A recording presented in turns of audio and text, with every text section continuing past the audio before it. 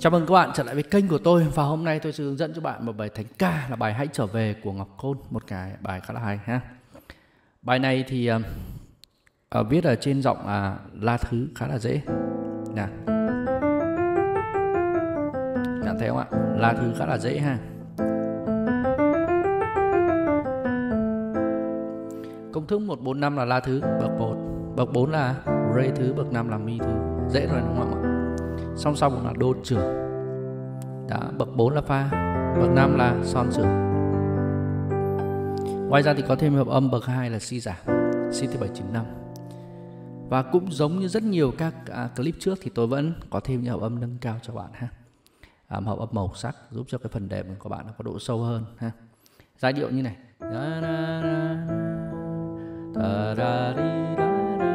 Bài này thì quá quen thuộc với tất cả các bạn rồi ha thì bài này các bạn làm sao mà có những cái phần à, hòa âm thôi. Nó dẫn làm sao cho nó hay hơn xíu là được ha. Tại vì tôi thấy cũng có khá nhiều bạn à, ừ, đây à, rất là thích những cái bài như này và có nhắn cho tôi ha. Và tôi thấy cũng rất là tốt sẽ giúp cho các bạn à, tiến bộ nhanh hơn ha. Nói chung là tôi khuyến khích các bạn nên học sâu về hòa âm ha. Nó sẽ giúp cho các bạn à, đẹp đàn hay hơn và bài này đầu tiên tôi vào la thứ S9 buồn mà, cho nên là các bạn nên dùng những hợp âm buồn thôi. Tí da da da tôi để la thứ la thứ S9 này đó ta da da ta. Tí ru da tí da da yeah này tí da da da la thứ S9 về pha tam giác 7 xong rồi về la 7 bát đô thăng vào rê thứ 79 về rê bát đô. Tí da da da son S9 mà. Bát si kìa bạn nhìn này. Ti ra ra ti ti đô ra ti đô ra. À, la bát đô. Ti ra ra ti. Son son S9 này. Đó. Bạn thấy chưa? Son S9 mà bát si. Ta đô ra về son son S9 ti đô ra về đô tam giác 7 tôi làm lại ha. Ti ra ra ti. Ta đi đô ra đi ti da da ti do ra da đi. Về dẫn này. Ti do ở đây này. Đô S9 tôi về. Si thứ bảy chín năm mười một có thêm nốt mi nữa. À 11 si thứ 7 11 xong rồi về mi sớt 4 à, bạn này giữ được giữ nguyên này. Đô này. Si thứ bảy à, C thứ 7 chữ 5 nhé. Đó. 11 đó các bạn thấy không ạ? Rồi về xong rồi về mi sớt bớt tí về mi tí ra ra về về S9 bạn không tí đô ta tí ra tí. Ở đây tôi dùng một âm mạnh hơn. Nào. Tí ta tí ra ra. Các bạn nhìn thấy nốt đô nốt si này không? Đó, đó là là đô mi si la la fa yeah si là bậc 7 đô thăng thứ 7 trừ 5 dạ yeah, ok. Nhưng mà à, giọng tôi nó vẫn không được tốt lắm. Ha dạ, các bạn nhìn này. Si là bậc 7 của âm đô thăng thứ 7 trừ 5 yeah. Tí la la tí tại sao lại dùng ở trong la thứ lại có đô thăng thứ bảy trừ năm? À, cái đó là liên quan đến kiến thức hòa âm mà các bạn nên đi học tôi mà giải thích thì sẽ rất nhiều, nhưng mà đây là một hợp âm dẫn. Này. Ta đi đô, đa. Thấy bạn chi theo không ạ. Khá là thú vị ha. Này. Nếu là ti đô ta tí này. Tí ra ra tí yeah. còn nếu mà bạn xếp vào đây thì bạn để để cái thế này này. Tí ta tí ra tí ra ra tí nhé lại chín. Phá đô thăng thứ bảy chín năm tí ra ra ta. Bạn thấy chưa? Ti rô si thứ bảy chín năm ta ti ra ti. Si bảy si trưởng mà bát rê thang. Ti ti về mi bảy thì ti đô ra đi đô tại sao lại là si trưởng bát rê? Yeah cái này là bậc năm của bậc năm. Sau này các bạn được học những kiến thức về hòa âm thì các bạn sẽ biết được. Nhưng quan trọng là các bạn tại sao lại dùng đoạn này, ha? Đó yeah, khá thú vị. Đặt vào bậc 6 ha. Của si si trưởng. Ừ, xong rồi hút về. Mi 7 này. Gì gì bạn thấy không ạ? Tí đô đi đó tí đô đa đi đô đa đó, đoạn A như vậy. Còn khi đệm thì các bạn có rất nhiều cách đệm để cho nó nhiều bài nó có thể đẹp độ sâu với các bạn là dài nốt này. Ti la la ti ti đô la la đi đô đó giải nốt. Hay hoặc các bạn là bấm vào âm ti đô ra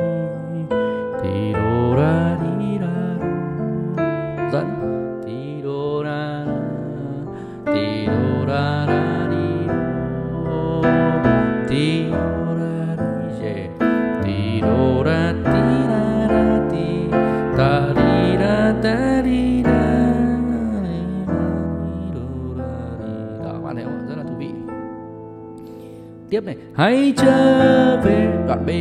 Trở về ta thì ta hãy trở về. Trở về thì ra ra thì hãy trở về đó.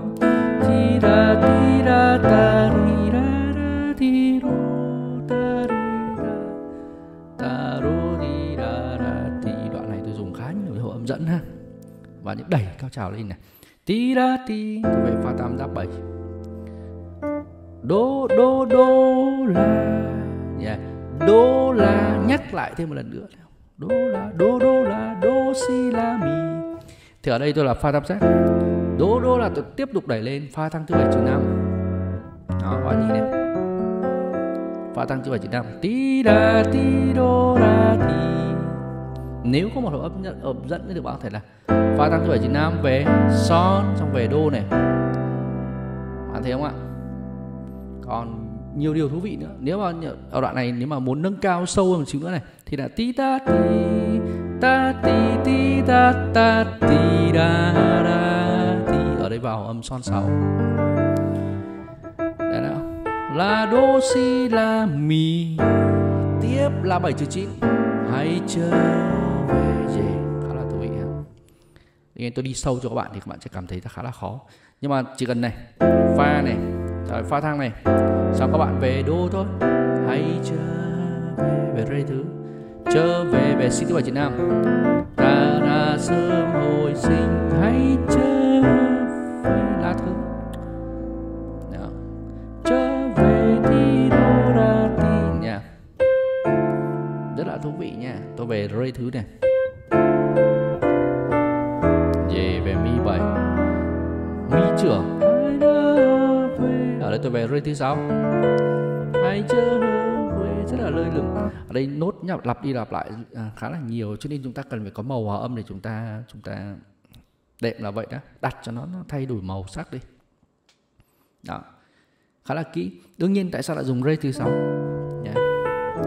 nếu mà các bạn nào mà là học viên của tôi thì đều biết được những cái khóa học ha về kiến thức về hòa âm. Đó nốt rê là bậc 6 của rê thứ sáu. Hay là đô thang này tại sao lại pha thăng này? Để son sáu này. Yeah. khá là thú vị. Đó là những hợp âm màu sắc. Các bạn đệm thánh ca thì có thể không giỏi về kiến về ngón, nhưng mà các bạn phải rất giỏi về hòa âm, ha? Và thứ hai là phải giỏi cách đặt hòa âm cho giai điệu giống như bài này này. Đó. Thì đi, thì đồ ra ra đó, tại sao tôi lại dùng như vậy? Đó. Các bạn thấy không ạ? Có rất nhiều người vào pha tam giác luôn. Tí ra ra thay vì la S9 thì vào.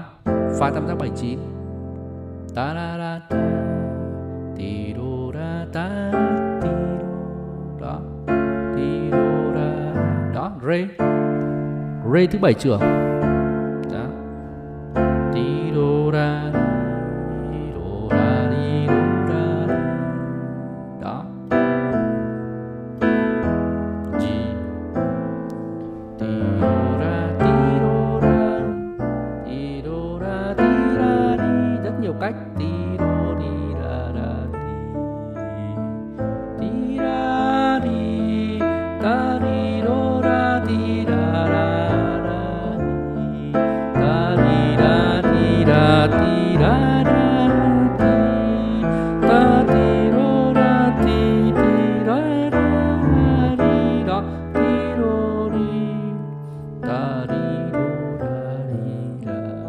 Ra vân ha.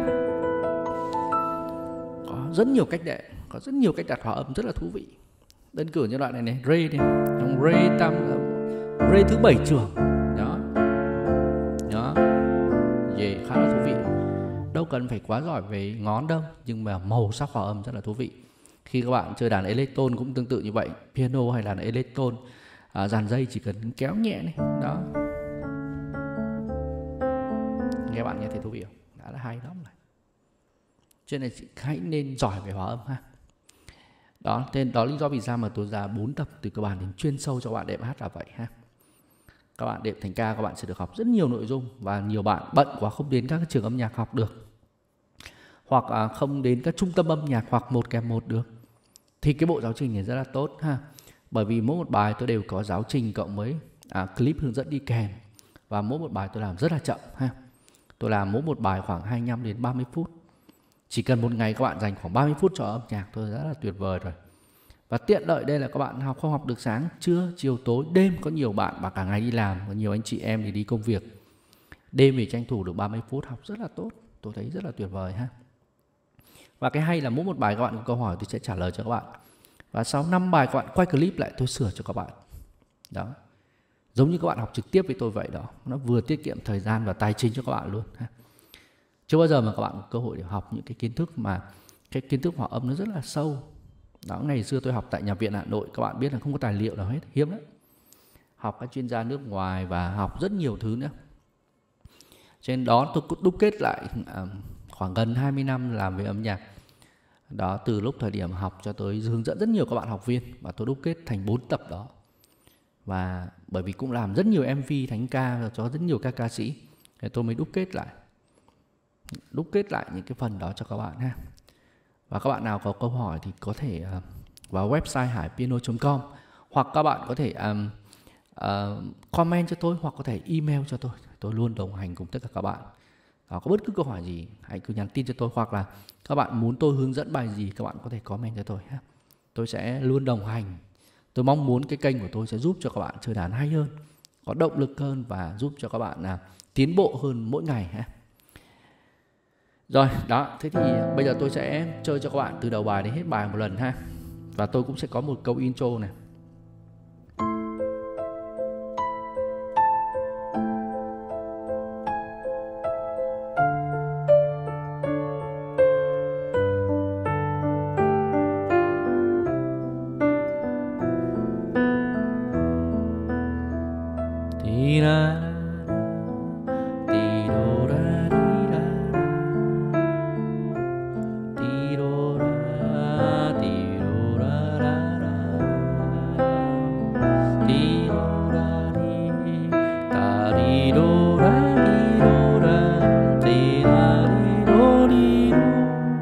Mm.